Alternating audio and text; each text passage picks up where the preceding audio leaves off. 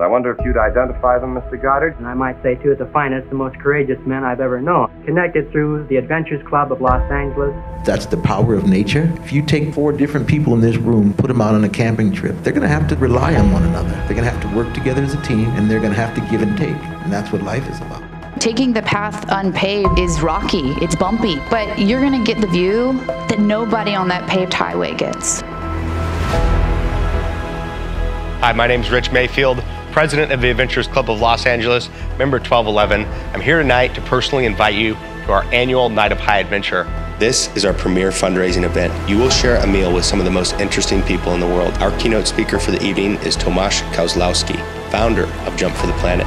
Next year, he will set the record for the highest parachute jump in history. Help us fundraise for our amazing organization so we can continue to share stories of adventure and bring people together.